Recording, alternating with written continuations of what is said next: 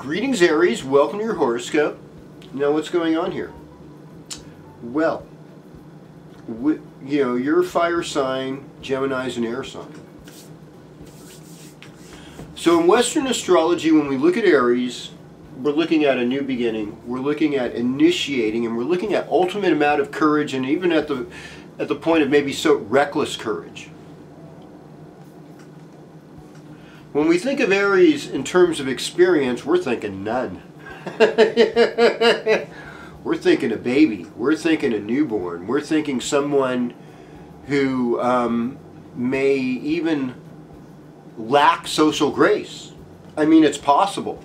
It's like, that sounds so cruel across, but let me, let's also put it in this term. This is a person that's willing to try new things.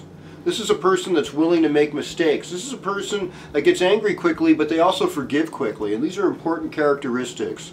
And so, and these are things that we need to know about. And that's how we move into Aries here.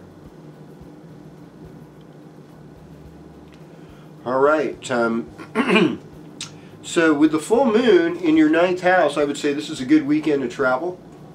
When the when the moon does get full, it's a good good time to initiate vacations. I mean, we the third house is where the sun's transiting for Aries. It enjoys travel. Mars is there. Mars enjoys travel, although definitely keep your vehicles in good working order. Whenever Mars is passing through your third house, it's a must. You, you take care of that stuff. And Mercury's retrograde, so you know there could be delays on trips. This is a good time to take the scenic route. This is a good time to be patient and have B plans, you know, in case things do go wrong. Something else to do.